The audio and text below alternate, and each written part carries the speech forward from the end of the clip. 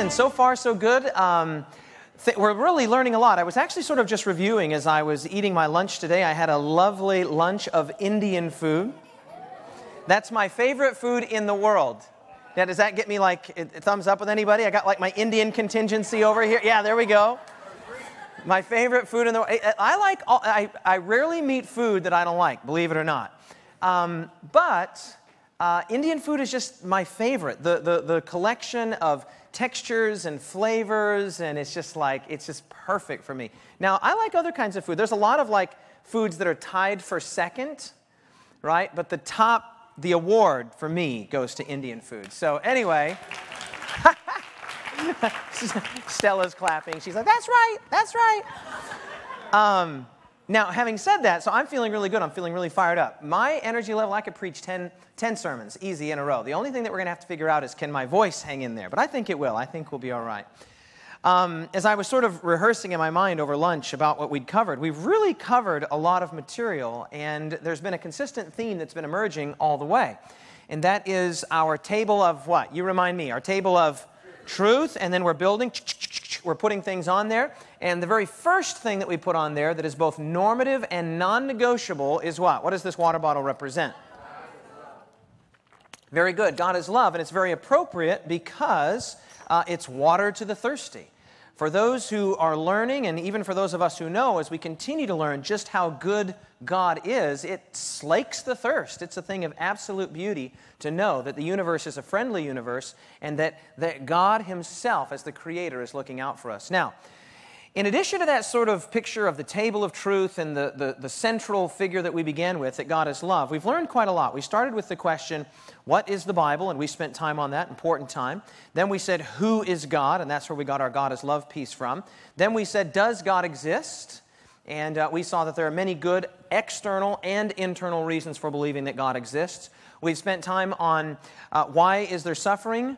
Uh, why do innocent children suffer? Then we talked about will there ever be justice on earth? Who killed Jesus, etc. And I might have missed one in there. But we're really off to a, a very good start. And at this point, I want to address something that will really highlight the supreme and, and amazing relationality of the God of Scripture. And uh, what we're going to talk about here, frankly, is so mind blowing that even though I have presented uh, presentations about this and like this in many different situations, venues, and settings, it never, ever ceases to amaze me the truth that we're going to talk about here today. And uh, so, what I want to do is uh, just begin by uh, sort of reminding ourselves of, of how Scripture opens. It opens with, of course, creation. We've spent time on that. In the beginning, God created the heavens and the earth. And uh, as God is creating in Genesis 1, let's just go there together just to sort of remind ourselves of these passages. As God is creating in Genesis chapter 1, the means or the vehicle by which He is creating is His Word. We spoke, uh, I think, two sessions ago or, th- or three sessions ago. We talked about that phrase that comes up in Genesis 1 over and over again. And the phrase is, and it was good. And it is, was good, and it was good, and it was good, and it was good. Um, but another phrase that's very consistent in Genesis chapter 1 is this phrase, then God said. Then God said. So take, for example, verse 3. Then God said, Let there be light, and there was light. Verse 4, and God saw the light that it was good, and God divided the light, the light, from the darkness. Verse 6, then God said, Let there be a firmament. Verse 9, then God said, Let the waters uh, under the heavens be gathered together into one place. Verse 11, then God said, Let the earth bring forth grass. This is another phrase that comes up again and again and again in Moses' creation account here in Genesis. Then God said. And so the means by which, the vehicle through which God is creating, is His Word, right? He just speaks and the thing comes into existence. Now, the, the uh, sort of philosophical, theological term for this is ex nihilo which uh, is just the Latin for out of nothing. It's not as though God had, you know, resources, raw materials from which he had to gather what he needed and then sort of construct. No, no, no, no. He's just speaking. Let there be light. There's light. And let there be a firmament in the midst of the waters. There's the waters above from the waters below. Let there be, let there be, let there be. And God said, and God said, and God said. So God is creating by his word. By his what, everyone? by his word. One of my favorite authors has this great line where she says that the creative energy that brought the worlds into existence is contained in the word of God. And what a great line. I mean, the creative energy that brought worlds into existence is contained in the Word of God. Genesis 1 and 2 both tell the same story, but they tell the same story from slightly different perspectives. And scholars have noted this um, uh, in, in, many commentaries and, and uh, in many uh, volumes on Genesis. Now, the skeptics have suggested that there's, there's two different creation accounts, that there's the Genesis 1 account and the Genesis 2 account, as if they're somehow unharmonious or, or internally contradictory, which is certainly not the case. What you do have, though, is a slight difference of perspective or even a difference of emphasis. A difference of what was that second word I said there? Emphasis. In Genesis chapter 1, you find God creating, for lack of a better term, the sort of physical realities uh, of which the world is made of. He makes the light and he makes the earth and the dry ground, and, and he, he makes the space or the firmament between the waters above and the waters below, and he, he makes the animals. And you see God sort of speaking the physical material world into existence. And again, he's doing it by means of his voice, of his word. He, he says, Let there be light. There is light. Let there be a firmament. There's a firmament. Let there be a greater light to rule the day. There's the sun, and a lesser light the night. And there's the moon. So God is in Genesis chapter 1, I wouldn't say distant. That would, be, that would not be exactly right. But it's as if God is sort of here. And I know they're going to hate me for going out of the lighting here, but it'll actually serve my purpose. Um, it's as if God is sort of here, as it were, somewhat in the shadows, speaking the thing into existence. And so let there be, and, and things are sort of coming into being and into existence by virtue of God's word. Now, that is contrasted with what happens in Genesis 2. In Genesis chapter 2, a very interesting thing happens. It's as if, to go back to my lighting metaphor here, thanks guys in the control room for letting me do this. Of course, I would do it even if they didn't let me. Um, God is, as it were, stepping out of the shadows, stepping off of the veranda of the universe, and he actually comes down to earth itself. Now, we know this because of the language that Moses uses. Now, check this out Genesis chapter 2. Genesis chapter 2, and look at this. It says, uh, we'll pick it up in verse 7 And the Lord God formed man of the dust of the ground and breathed into his nostrils the breath of life, and man became a living being. Our presentation here is titled, Does God, do you have time for me? Does God have time for me? And we're going to see that, that God is longing to spend time with us. In fact, he is so thoroughly relational in his nature and in his character. That's the very thing he wants most is to spend time with you and with all of his creation. And so here in Genesis chapter 2, very interesting, where, where God over here is speaking, let there be light, let there be a firmament, let there be a greater light, let there be the dry land, let there be the seas. In Genesis 2, God, as it were, steps out, and the Bible says that he formed and fashioned man from the dust of the earth. Now, that's the language of, of of a sculptor. That's the language of hands and knees and feet and a body that's forming and fashioning and shaping. Now, don't miss the significance of that just, just on, on the face of it. Rather than, rather than speaking Adam into existence, which let me just ask this question could God have done that? Well, certainly, with the resources of omnipotence at his disposal, he could have just said, and let there be an Adam, right? And Adam could have been created, and let there be an Eve, and Eve could have been created. So, so why does God create in this way? Not out of necessity, but out of intentionality. Why does He come, listen to the word here, close to His creation?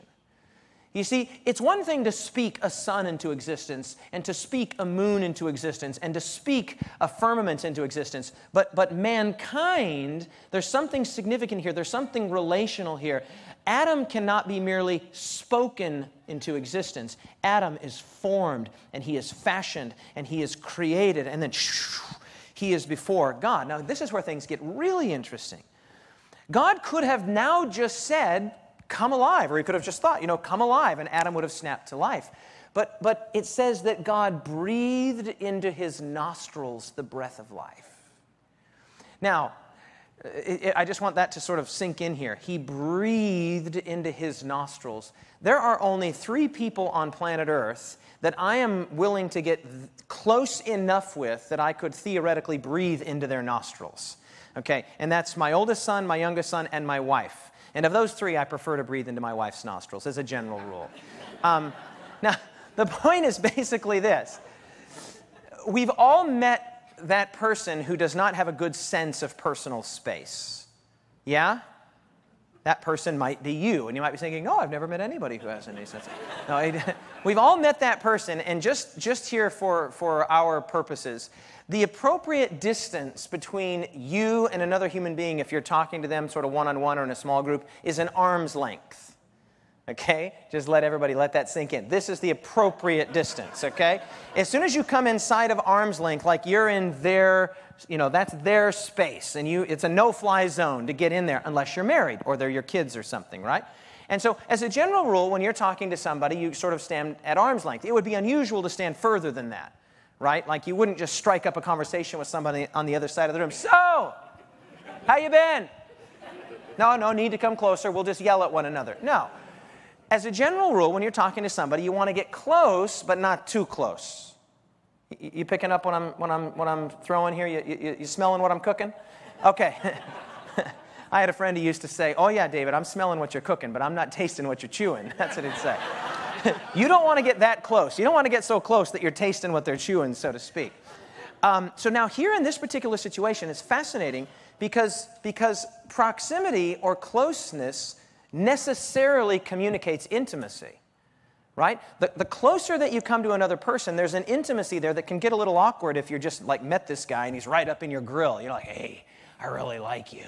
And just like, whoa, you know, like, hey, I like you too, but can we not like each other so much?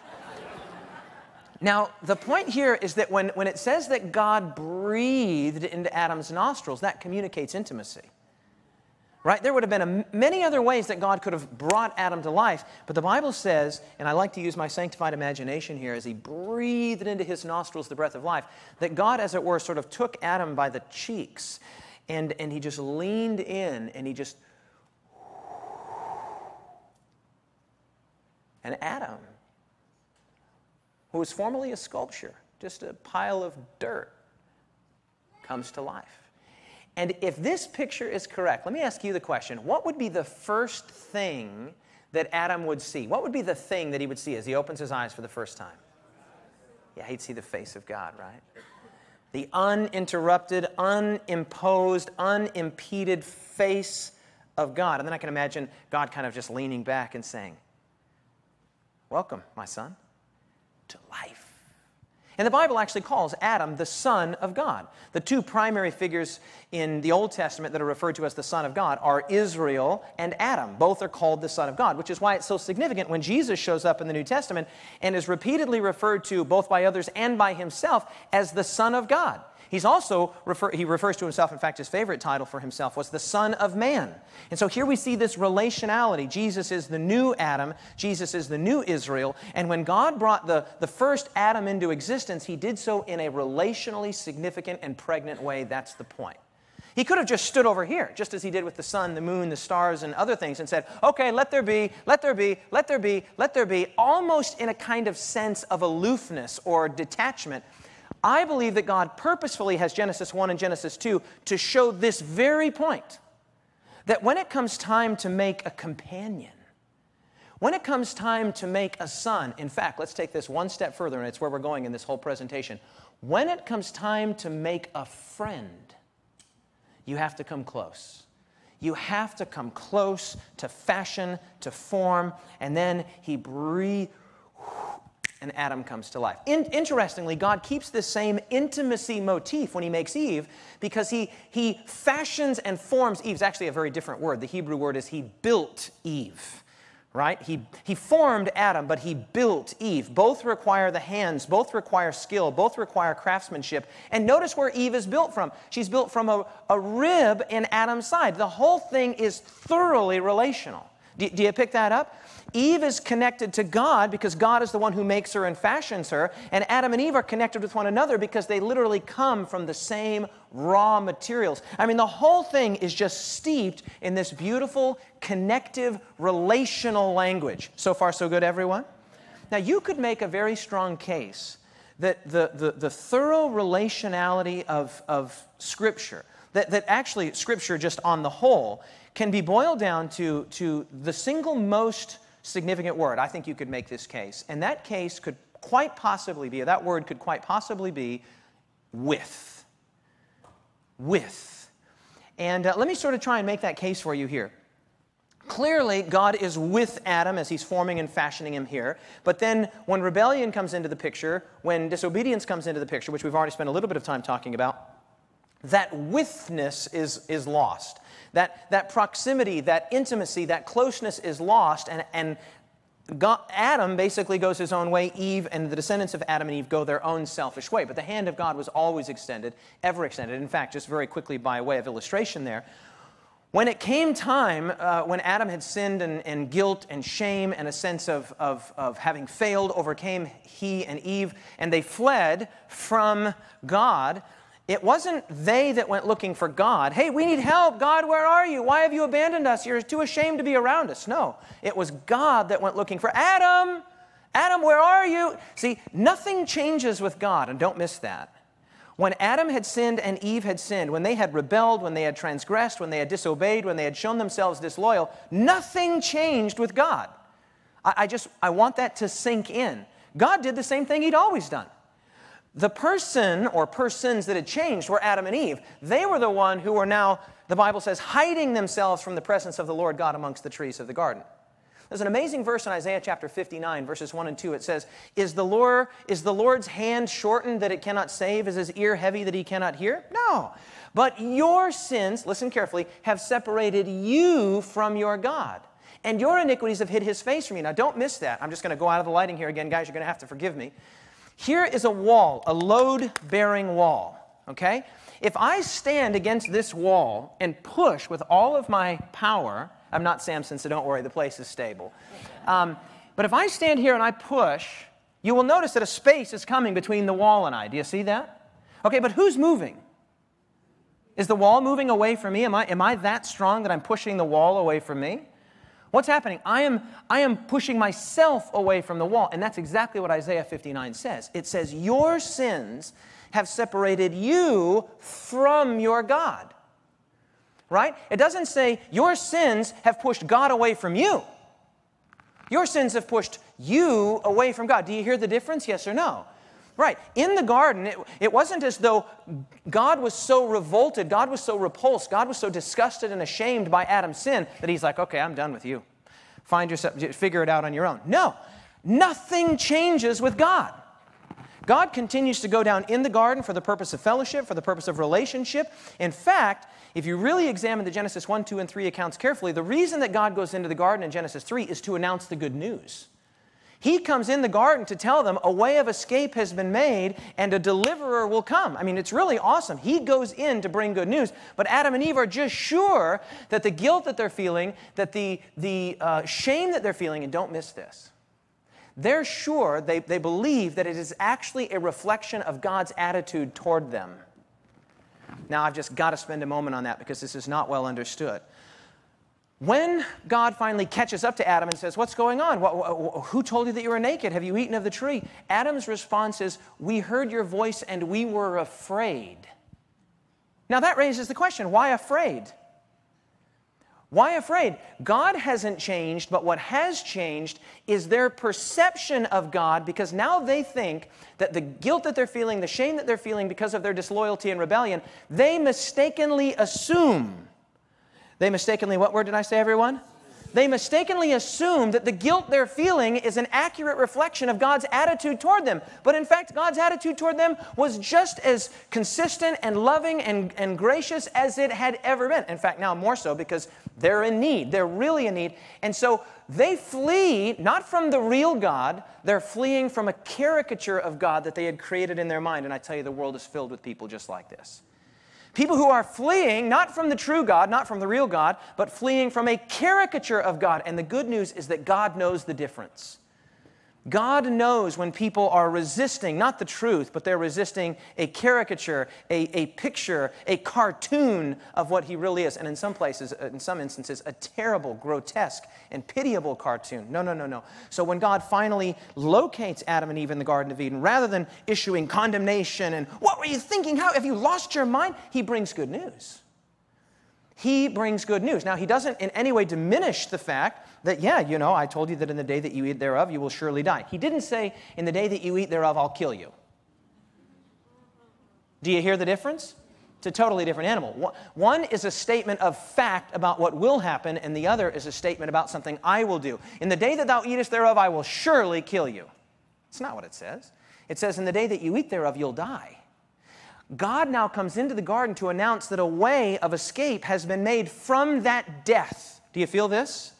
And death becomes the ultimate thing that separates us from our loved ones and from God. That's the withness that's lost sight of.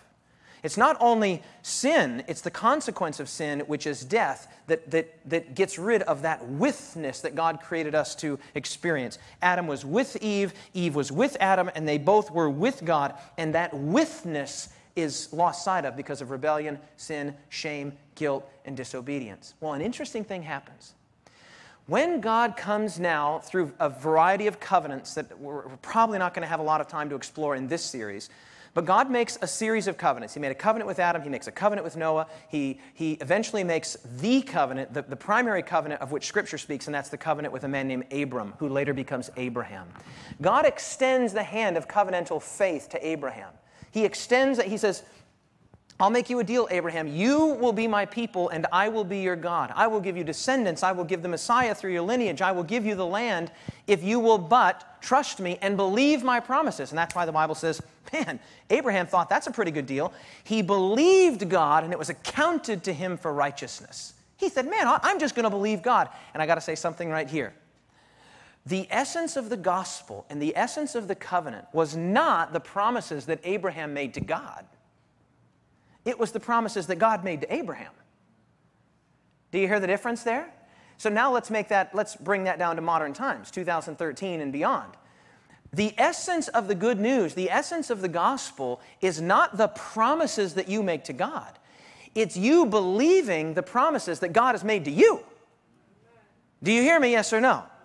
And I, I want to say that to our listening audience as well. It's not about the promises that that you make to God, those promises are weak. Those promises fall apart. You know that. How many of us have made New Year's resolutions and failed to keep them? Right? Your promises are like ropes of sand, as one author has said. But the real essence of the gospel is that God has made promises to you, and your responsibility, my responsibility, is to believe the promises of God. And Abraham did. And that's why the, the rest of Scripture takes up that covenant as the covenant.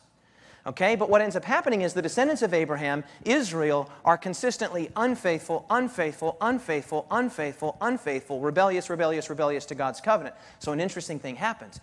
God extends his hand not only as God, but he pulls a bit of a flanking maneuver, and this is just where this is where the plot twist of Scripture is just amazing. We've just mentioned this before.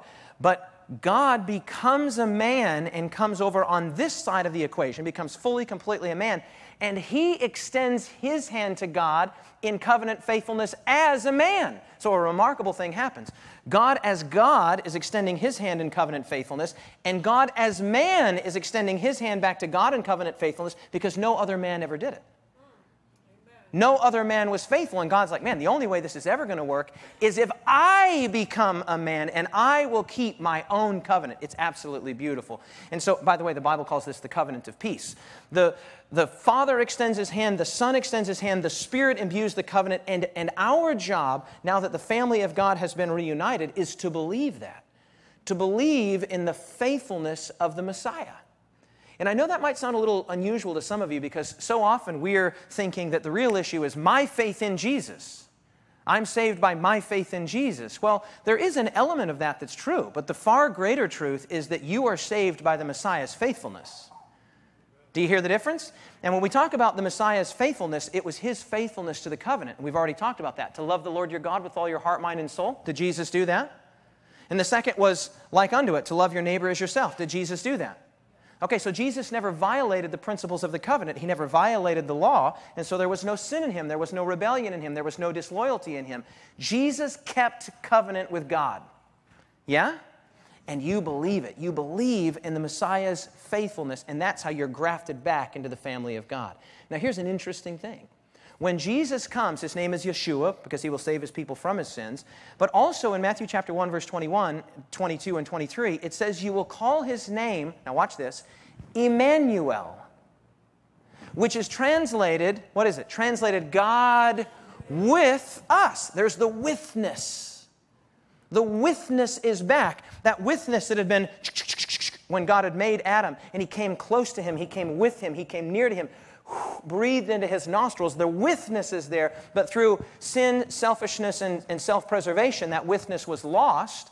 So when God re extends his hand in covenant faithfulness, when God sends out his hand, he sends a Messiah and he says, You know what the Messiah's name will be?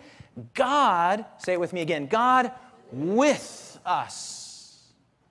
Now, check this out. The whole Bible climaxes in, in this language, Revelation 21. Listen to the language here that John, uh, it's rapturous, poetic, beautiful, incomparably awesome language.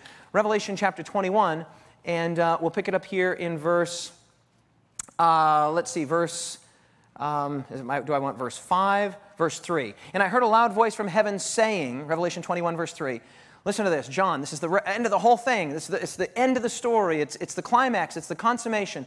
I heard a loud voice from heaven saying, Behold, the tabernacle of God is with men, and he will dwell with them, and they will be his people, and God himself will be with them and be their God.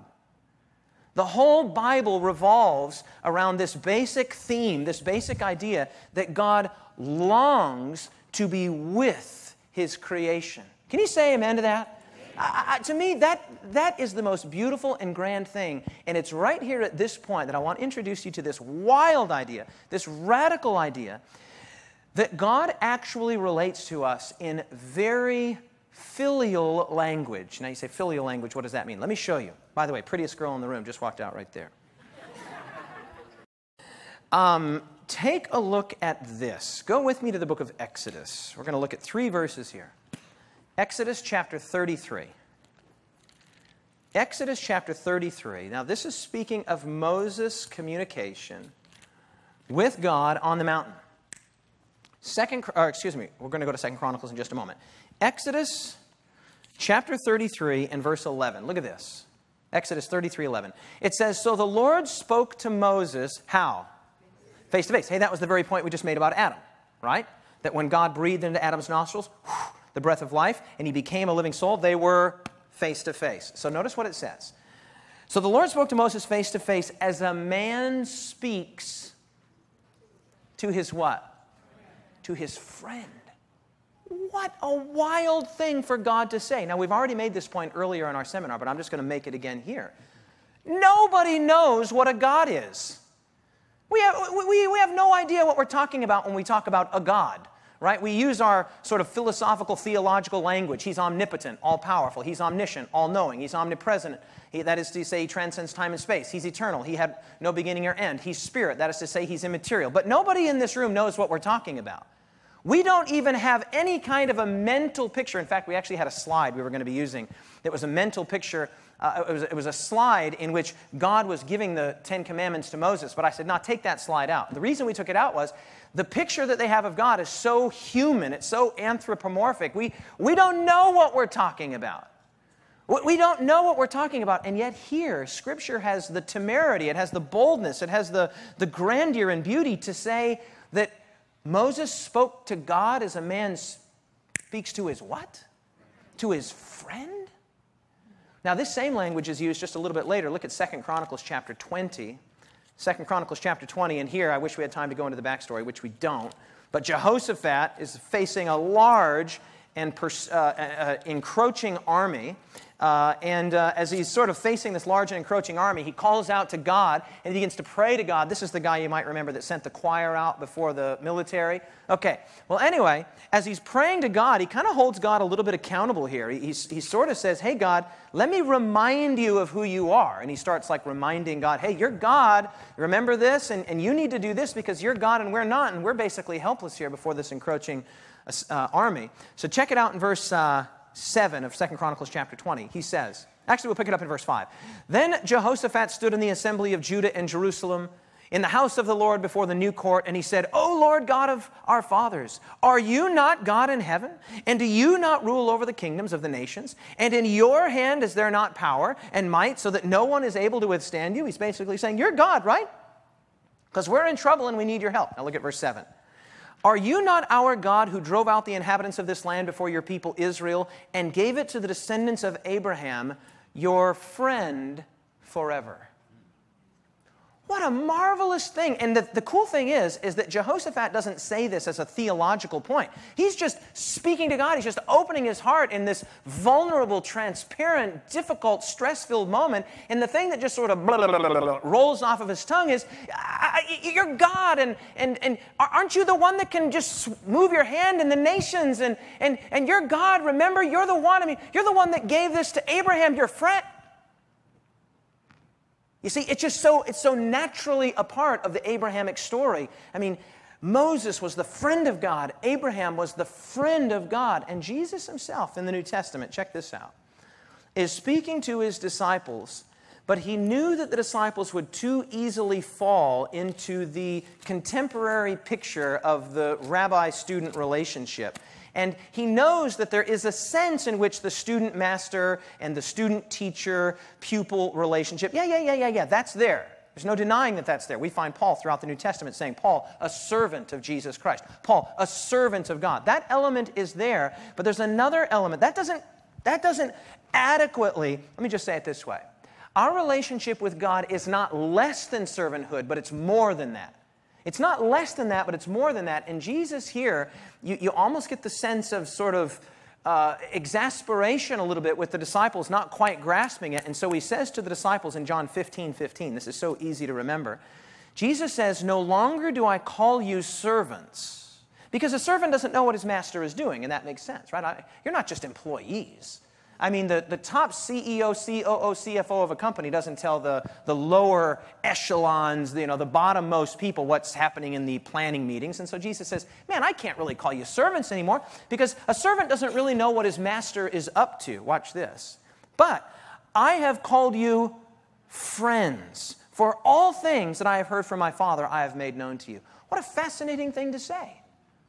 Jesus here sets the, the idea of you are my friend in juxtaposition with servanthood. He doesn't deny the reality that at some level God is God and we are his servants, God is God and, and we are to, to serve him in a subordinate role. But he says, I want there to be more of a mutuality. Right? Not, not a hierarchical role where I'm over you, but a mutual role where we're, watch this language, with one another. Incidentally, when you come to the book of Revelation, God is so passionate about this mutuality. We would say it this way in, in modern business terms, for those of you that work in the business world, we would say, and this has come off as a bit of, of a surprise to some of you, God prefers a flat management style. Right? God prefers a flat management style. How do we know that? Because the Bible says in the book of Revelation that the redeemed will sit with him on his throne right? They will be kings and priests with me on my throne. What is God thinking? Does he need help running the universe? No, he doesn't need help. He wants to be with us. And one of the great and grand overarching themes of Scripture is that the very place where the separation was the greatest and the rebellion was the most obtuse and terrible and, and pathetic, that place where the break, where the breach was the worst, will become the place where God is the closest. In fact, when John picks this up in Revelation, he says, Man, they don't even need the sun because the Lamb is with them. He's with, He's with, He's with. God is able to say the thing He always wanted to say throughout the entire Old and New Testaments I will be your God, and you will be my people. And God can say it. These are my people. Have you considered my servant Job? Have you considered my servant Mark? Have you considered my servant David? Have you considered my servant Tammy? These are, these are my people. Isn't this beautiful? So, in answer to the question, does God have time for me? The, the, the, the better question is, do you have time for God? Yeah? Do you have time for God? One time I was praying on a Sabbath morning after a church service, and I found myself saying, Lord, you have spent time with us today, but have we spent time with you? And I realized it takes two. I mean, how many of us have had uh, conversations with our spouse or with our children or with somebody else where they are completely checked out, right? And they're just like, My wife will sometimes be, hello, hello, are we? Oh, yeah, I'm sorry, sweetheart, I was just daydreaming, which happens to me about, you know, every three seconds. That's why I have to talk this fast, because if, if I don't keep talking, then I'll just suddenly start thinking about something else. right? That, that, and so, so, so God is longing to be with us. God is passionate about our presence. He wants us to be similarly passionate about His presence. Now, in, in no place in Scripture, in my personal opinion, no place in Scripture is this clearer than in God's commands, the first four commands, and particularly the fourth. Now, we've already sort of been over this. The first commandment is, You will have no other gods before me. God says, Give me your affections. In the second commandment, God says, You will not bow down to any you know, graven images. Give me your body. Use your body in legitimate and appropriate, not illegitimate ways. Give me your body. The third commandment, You will not take the name of the Lord thy God in vain. God says, Give me your words. I want your words. I want your mouth. Give me those things. And here in the fourth commandment, remember the Sabbath day to keep it holy. God, this is a whole commandment built around time. I mean, what, what, a wild thing to make holy if you really appreciate that. This is absolutely unique, by the way, in this sense. If God would have made the primary object of his sanctification or his, his holiness a place, say a holy temple, which there was a short period of that, but even the temple pointed to Jesus. Okay? If he would have a holy mountain, but even the mountain always pointed to proximity. If, if God just simply said, okay, there's a holy place and it's over there and you need to go visit, and when you go there, then you can be in my presence. Well, the problem is, is that geographical realities prevent us from always being able to be at that place. Let's say the holy place is in Connecticut right? Let's just say for purposes. Well, that might be really convenient for you guys because you can go to the holy place just fairly, you know, you'd be there in a few hours, right? But if, if somebody lives in, say, Swaziland, and the holy place is in Connecticut, well, that's really inconvenient, right? And if somebody's in prison and the holy place is in Connecticut, now you are somehow separated from the holy place, the holy thing. So God, in a stroke of divine genius, says, ah, I'll make time holy. So you can be in Swaziland or in Connecticut or in Maryland or anywhere else all over the world. And here's the coolest thing, and this is a beautiful picture of the righteousness that comes by faith you don't even have to go to the thing, the thing comes to you. Right? You just like stand still and the earth is moving and in time it's going to do its thing and the sun is going to, you know, stay in its place and lo and behold a week is going to, you know, seven of those cycles are going to come by and the Sabbath is going to find you. Where are you going to flee from the Sabbath? So, in a stroke of brilliance, you can be in a prison cell, and God says, I'll bring my holiness to you. I'll make time holy and bring it to you. You don't have to go traveling here and there to some place because then, because of, of inconvenience or because of physical inability or because somebody won't let you go, you could be cut off from the holy thing. God understands that. And so He universalizes access to Himself. I want you to hear that. He universalizes access to himself. He says, I'll give you a round planet, so there's no like little corner where you can go hide and sort of stand there and be like, okay, I'm out of the orbit. No, no. The whole planet will get it, and it will come to you. So far, so good? Awesome. I mean, what a beautiful and grand picture. Why else create the Sabbath if not to spend time? Time with one another as a family unit, and time with God as the larger divine family unit. And this is exactly what we find in both the Old and the New Testaments that God is absolutely passionate about spending time with his people. And we've already mentioned that affections, body, words, and time are the foundations upon which any relationship is built. Yes or no? Absolutely. Now, I think we've got here a picture. Let's see if it's going to come up. Excellent. The sanctuary, the, the, sanctu- the, the tabernacle, go back one for, I'll get Harrison Ford in a minute. Oh, we'll start with Harrison Ford, might as well. Much younger Harrison Ford. When I was a, when I was a child, there was a movie that came out and the, the movie was Raiders of the Lost Ark. And uh, I didn't even know what that was about. But I later learned that the thing that, you know, this fictitious archaeologist adventurer was looking for was the ark. But well, what is an ark? Well, the ark was the ark of the covenant that was in the most holy place of the Israelite sanctuary. Of course, this is the Israelite sanctuary on the Sinai desert floor. It was later turned into Solomon's temple. After Solomon's temple was destroyed, uh, it was later turned into the second temple. But here's the point. This little, constru- this little um, uh, picture here, this, this portrait of God's house, his, his blueprint, um, is made up of basically three compartments. You have the outer courtyard, which is just what it sounds like, and the outer court, sort of like you can think of this as like the lawn right? And you've even got a bit of a barbecue there, actually. That, that is what they used it for. Uh, I mean, they did. It's, uh, it's true. That's exactly what they did. They, they burned the stuff on there, and then the priest would eat some of it. And um, a friend of mine, Nathan Renner, whenever we go to some place and, you know, the, uh, he's pastors in the Sonora church. Whenever we go someplace and, you know, it really smells like McDonald's or Burger King or some steakhouse, you know, we'll ha- often have some, like, really pious vegetarians with us, and they're like, oh, I hate that smell. Oh, so gross. And uh, what my friend Nathan always says is, ah, the smell of the sanctuary. I love it. I love it. And it's so true. It's so true. I mean, if you would have gone to the sanctuary, it would have smelled like a barbecue. That's, that's what it was. And I'm not saying that to demean it. I mean, that's, that's what it smelled like. They were continually burning animals on the altar. And so that was sort of the outer courtyard. But then you went into the house and you had the, the sort of holy place, and then you had the most holy place, which is just what it sounds like. It was the most holy place. But here's the coolest thing the single article of furniture, and now you might be thinking, this whole house analogy, really? Really? Let me just sort of back that up a little bit here. Um, there, was, there was food in the holy place. It was the table of showbread, and there were instruments. There were like there was silverware there. There were utensils. There was a light, and there was even incense for ambiance. It was basically like a restaurant. It was a dining room. Now you might be thinking, really? Yeah, really. Because in ancient times, unlike in modern times where we just eat, ah, we just eat and we just, okay, I'm done eating. Now I'm gonna, I got my, my quick yogurt, my quick granola bar, and I'm done eating. No.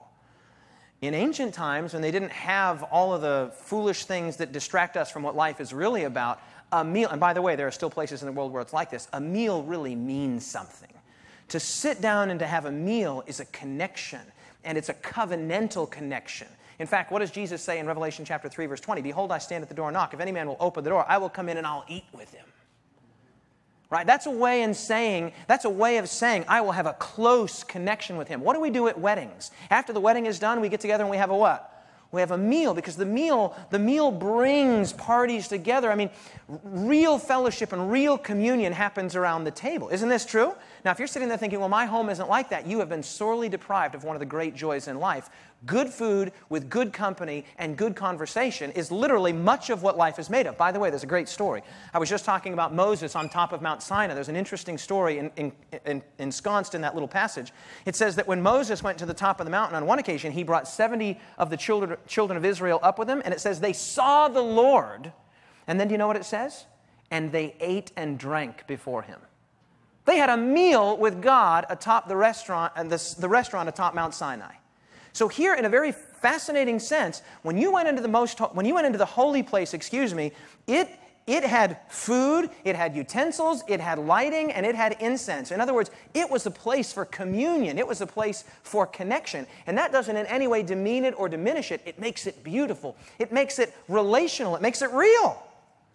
Right? Jesus shared the Last Supper with his disciples. In fact, he was so passionate about it that he said to them, Listen, fellas, I won't even I won't even drink of this cup again until the time where I drink it with you fresh in the kingdom of heaven.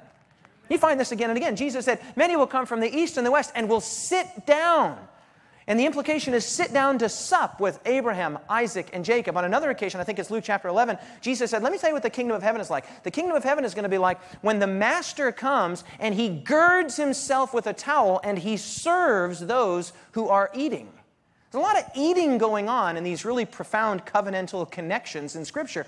And that's because it's a time of connection, it's a time of relationality, it's a time to really connect with another human being. So far, so good? Okay, so now you go into the most holy place. And the most holy place was basically barren, with, except for a single article of furniture. And that article of furniture was the thing that Harrison Ford was ostensibly looking for. And that's the Ark of the Covenant, which is basically a box. And don't miss that. The, the, Ark of the Covenant wasn't really all that special in terms of the box. What made the Ark of the Covenant so special was its contents. Right? If you go to a, if you go to a place and try to buy a pair of shoes and they say, oh man, I need to get new shoes. And they say, oh, Pastor Ash, or Pastor Asher, or whatever, they say to you, um, yeah, we, we, we, we don't have those shoes, but we got a nice box. you say, you know what? Really? A box? I'll take two. No, no. You don't care about the box. What do you want? You, but if they came and they said, ah, we got some good news and some bad news. Oh, what is it? We have the shoe you want. Okay, good. Check. In the size you want. Check. In the color you want. Check, check, check. And they say, but we're missing the box. And you're like, no deal. no, no deal. I need the box. I need to throw it away at my house. right? No. You want the, the you want the what's in the box, and that's what made the Ark of the Covenant so special. It wasn't the box, it what was, it's what was in there. And do you know what was in there? God's Ten Commandments, His rules of relational integrity. relational integrity before God, the first four commandments, and relational integrity before your, your neighbor, the second six. In fact, check this out Deuteronomy chapter 4, verse 3. If you want to try to meet me there, Deuteronomy, see if you can beat me. You didn't, I'm there. Deuteronomy chapter 4, verse 3. Even your computer Bibles aren't going that fast. I know it's not happening. You're like, uh, Deuteronomy 4, 3. I'm already there. Um, so he declared to you his covenant. That's his relationship. So he declared to you his covenant, which he commanded you to perform, the Ten Commandments, and he wrote them on two tablets of stone. Right? Beautiful. This, this, this thing is called the Ark of the Covenant. Do yourself a favor and think of that thing as the ark of the relationship. That's what it was. It was the ark of the relationship. It was the ark that, that guarded the witness. And by the way, this is super cool. The only day that anyone went into that place, into that room, was on the 10th day of the seventh month, on the day of at one atonement. And, and that's just at one minute is just another way of saying the day of the closest relationship. And I'm, I'm actually reading through a marvelous book right now that's a little scholarly, but if you're interested in this, you need to get your hands on a book called Cult and Character by Roy Gane. Cult and Character. And again, it's a little scholarly, but you can get, if, if, you, if you have any interest in this at all, you've got to read this book. It's absolutely remarkable. And basically, what, what he does is he unpacks Leviticus chapter 16, the Day of Atonement, and, and just walks through this ritual, walks through this amazing ceremony of Leviticus 16 and the Day of Atonement, and how it's just intimacy, intimacy, proximity, proximity. It's close, it's close, it's close, it's close. It's the very thing God is after. It's the thing he's been after since he said uh, in, in Genesis 1 and 2, let there be, let there be, let there be, let there be. But when it came time to make a companion, when it came time to make a son, when it came time to make a friend, you come down, you form, you fashion with your hands. And, and more than any other single commandment, more than any other single commandment in, in the, the first four commandments, is this idea of the Sabbath. Again, it's sort of the, the out of place commandment in the sense that it's a strange thing to command, right? Commanding to take time, commanding for you to spend time with me in relationship. In a book, another excellent book. Now, this is one you should read, all of you. Every single person should read this book. It's called The Lost Meaning of the Seventh Day. Write that down. The Lost Meaning of the Seventh Day by Dr. Sigve Tonstad, T O N S T A D. Dr. Sigve Tonstad. And uh, in that book, there's a fascinating, it might be a chapter or a section in which Dr. Tonstad says that the Sabbath is what he calls, listen to this, the reluctant commandment. It's the reluctant commandment because it's, it's not really a commandment in the obligatory sense, in the duty sense. It's, an, it's a privilege, it's an opportunity. It's like saying, You will take a vacation. Like, okay, okay, okay, twist my arm. Okay, we'll go. Where are we going? Right? That God longs to spend time with us. He, he, he commands us, but He commands us because He knows it's for our own best good. And if, if He just said, well, you know, you know, think about it and try to make time for it and do your best, most of us, most of us wouldn't do it because we'd be so busy working ourselves to death or spending time doing other things. And so it has to be a commandment because of the obligatory nature, but the essence of the thing is relational, and you can't command a relationship. Do you hear that, everyone? It's the reluctant commandment. Jesus said it this way He said, Man, when I made the Sabbath, I made the Sabbath for man, for his benefit. He didn't, notice this, the Sabbath was made for man and not man for the Sabbath. It's not as though, you know, he, he made the Sabbath and he's like, Oh, well, who's going to keep this thing? I'll guess I'll make a man to do it. I make a man to keep the day. No, the, the significance is in the man, right? The significance is in the man. The man is the significance, and he says, This, ah, I made this for you. The Sabbath was not made for, the Sabbath, excuse me, was made for men and not man for the Sabbath. What God is saying here is, I was thinking of you when I made this. You need this. And I'm going to even go out on a limb here. And I'm not making a philosophical statement, I'm making a, a relational statement. You need the Sabbath, but so does God. God needs to be, not in terms of his ontological perfection, for those of you that are persnickety about words, but he needs to spend time with you relationally. God made you for that purpose. You were made to be with Him. In fact, the opening sentence, I think it's the opening sentence in the Westminster Catechism. I could be wrong about that. It might be the second or third or whatever. But there's this really great section in the Westminster Catechism where it asks, you know, in classic catechistic form, it says, you know, question, answer, question, answer, question, answer. This is one of the great confessions of the Christian faith. It says, What is the chief end of man? Answer the chief end of man is to know God and to enjoy Him forever. Boom! Got that one right. The chief end of man is to know God and to enjoy Him forever. The beauty of the Sabbath, this, this seventh day, is that it encapsulates everything that we've been talking to up to this point. It encapsulates the relational element, the intimacy element, the time element. All of that is wrapped in this holy thing. Again, not a holy place like Connecticut, but, but a holy space in time. Someone has rightfully called it a temple in time. The late Dr. Sam Bacchiocchi wrote this in his book, Divine Rest for Human Restlessness. The Sabbath rest teaches the greedy heart to be what? To be grateful, to stop for one day looking for more and start instead gratefully to acknowledge the blessings already received. That's really the beauty of the Sabbath, and that's where the don't work thing comes in. The don't work thing comes in and is like, oh, whoa, whoa, whoa, slow down. The abundance of a, of a man's life does not consist, or the, the, a man's life does not consist in the abundance of the things that he possesses. You got plenty of stuff, right? I don't know about you, but I got plenty of stuff. I always think when I go to the mall, ooh, Ooh, look, it's on sale. I need me one of those. I'll get two just in case. Before you know it, you got a bunch of stuff my wife and I and our family right now are looking possibly at making an overseas move, and we're praying about it. It's a good opportunity, and we just want to go where the Lord wants us to go. But one of the things that's really attractive to me about this opportunity, frankly, is that um, we would just get rid of everything. Man, how awesome would that be? I keep, my wife's like, I'm not so convinced. I'm like, no, sweetie, it'd be awesome. Everything you own is in two suitcases. Everything I own is in two suitcases. Let's just liquidate it.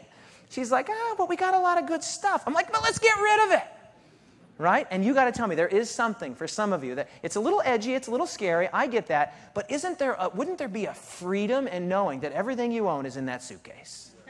Isn't that awesome? Because all this stuff is going to burn up anyway, right? We're just giving it a bit of a head start. We'll Craigslist it and get rid of it, and you know what I mean?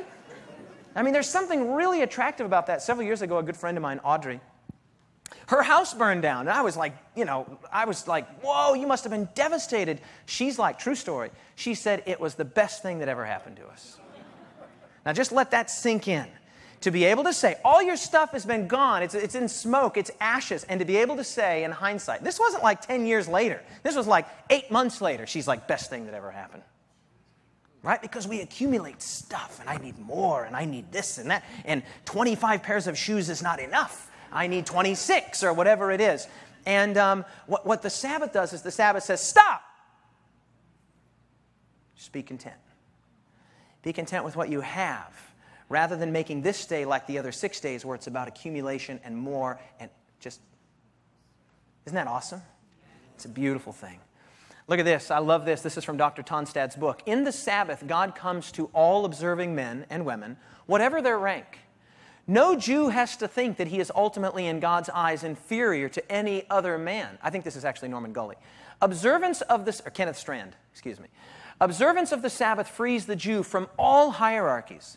On the Sabbath, servant and master meet as equals. Fascinating. As free human personalities, Sabbath is thus a weekly recurring divine protest against slavery and oppression lifting up his Kiddush cup on Friday night, the Jew links the creation of the world, that's what we talked about there, the creation of his nostrils, with man's freedom, so declaring slavery and oppression deadly sins against the very foundation of the universe. Kenneth Strand. Can you say amen to that? I love that. Slavery and oppression are deadly sins against the very foundation of the universe. And we talked about that when we talked about La Amistad right? That there's something wrong about men controlling other men and other people. And God didn't make us to, to control or be controlled. He made us to create, to communicate, and to connect, primarily with Him, but also with those around us. I love this. What, what, what Strand is saying here is that the Sabbath is the great equalizer, servant. In fact, the command says that. The command actually lists, in fact, look at this quotation. This is the one I thought was the earlier one. This is Dr. Tonstad from the book that I just recommended, which you're going to order. As soon as the Sabbath's done, you're going to go on Amazon.com, Lost Meaning of the Seventh Day, you're going to order it. By the way, I have no financial connection at all. You just need that book in your library. The seventh day must be seen as the launching pad for the most exceptional and ambitious project of social justice in the ancient world. Their freedom from work and from the yoke of exploitation are explicit characteristics of the Sabbath. When the circle is drawn, nothing and nobody lie outside its domain. The particulars on this list are amazing because no parallels have been found in other cultures. Legislation of this kind in the ancient world prioritizes from the bottom up, not from the top looking down, giving first consideration to the weakest and most vulnerable members of society your manservant, nor your maidservant, nor the stranger that is within your gates, even your cows. Those who need rest the most, the slave, the resident alien, and the beast of burden, are singled out for special mention. In the rest of the seventh day, the underprivileged, even mute animals, find an ally. Dr. Tonstad, This is brilliant. Basically, this is the new heaven and the new earth every week. Did you get that? It's the new heaven and the new earth every week. There are no governments, there are no hierarchies, there are no slaves, there are no masters. Everyone meets as equals, everyone resting, everyone content, everyone in fellowship with one another, and particularly in fellowship with God. No wonder the Bible says in the book of Isaiah that even after all of this is said and done, when sin and suffering are no more and pain is but a faint memory, it says that from one new moon and from one Sabbath to another, we will come and worship before God. Because it is a foretaste, a, a taste of what God has always wanted and continues to want, and that is that withness. He longs to be with us, and no command, no command is, is clearer on that than the Sabbath command itself. Remember the Sabbath day to keep it holy, God says. Jesus says the Sabbath was made for man. I get such a kick out of it when people say, Oh, I don't keep the Sabbath, I'm not a legalist. What? what? What could you possibly mean by that? That's like saying, I don't honor my anniversary, I'm not a legalist. And I don't remember my birthday either, and I don't go on vacation, I'm not a legalist. I don't want it. What? What are you talking about? The beauty and the guts and, and the, the fiber and fabric of the Sabbath is not primarily in its obligation, though that is there. It's in the opportunity to fellowship with one another in equality and with God. If you're a Sabbath keeper already, I invite you to take a new view of the Sabbath, a, higher view of the Sabbath, as a relational opportunity to engage with God and with one another. Sure, you, God has been with you all day, right? He's, he's always there. But have you been with Him? And if you're, if you're not a Sabbath keeper, and I want to speak to our viewing audience here as well, if you're like, whoa, you're just hearing some of this for the first time, I, I want to strongly encourage those of you that are here and those that are tuning in, take a look at this commandment. It's the reluctant commandment, it's the time commandment, it's the commandment in which God says, I not only love you, I like you, and I want to spend time with you. I have time for you. Do you have time for me?